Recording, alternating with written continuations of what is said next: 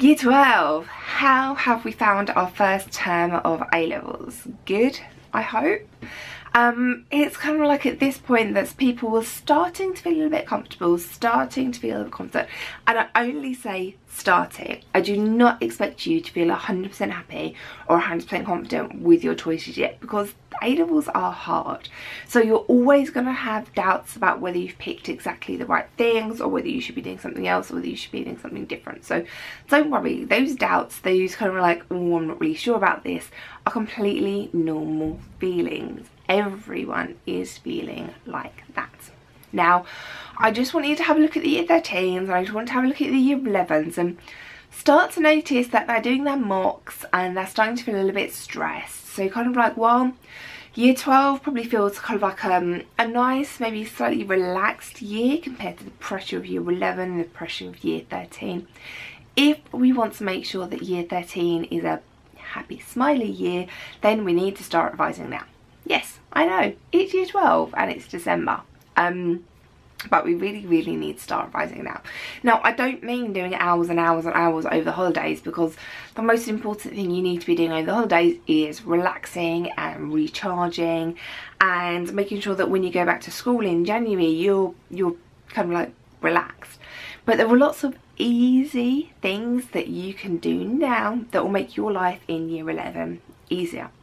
So one of the best things that's been proven over and over and over again that you can do for revision is retrieval practice. And that basically means doing lots of short questions over and over and over again. This doesn't have to be hugely time consuming. This could be 10 minutes here, 10 minutes there, 5 minutes one day, 10 minutes on different subjects the next day.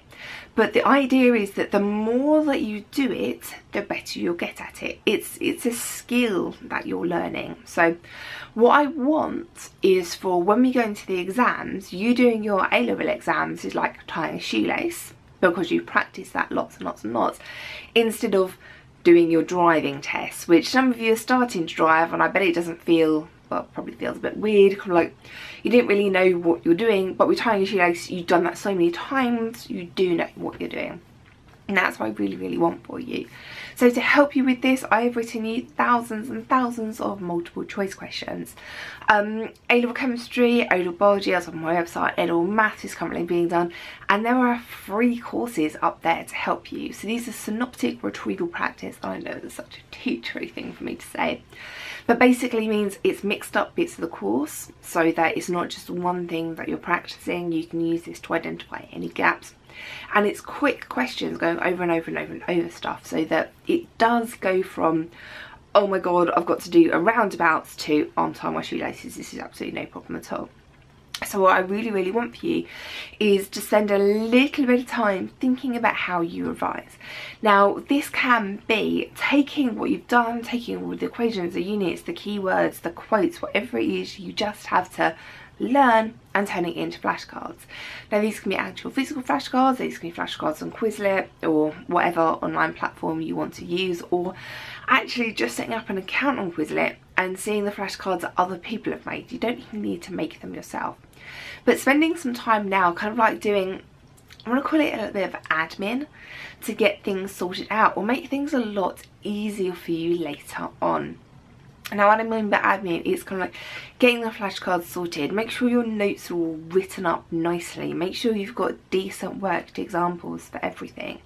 Um, making sure your folders are in order and they're tidy and it's not just a massive pile of paper that's in the bottom of your bag that you forget about for two weeks or three weeks and then you get them out in January and you realise you left an apple in there and they've all gone mould and had to be thrown away because that will happen. So please don't do that. Please use this time to do kind of like sensible course admin to get your head around things, to put things in place that will really, really help you later on like the retrieval practice, like the flashcards, um, getting your your folders sorted getting your notes sorted making sure you've got a checklist of everything that you need to know so i'm not saying you need to do loads and loads of hardcore hours and hours and hours of revision over the holiday the most important thing is to relax and the second most important thing is to get organized and get sorted um i've got lots and lots of things coming up for you guys um you are in literally like the best year ever because I'm doing so much stuff for A-level. Um,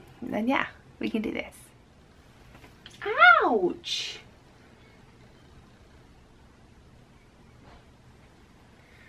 This is why in some videos I have unexplained scratches.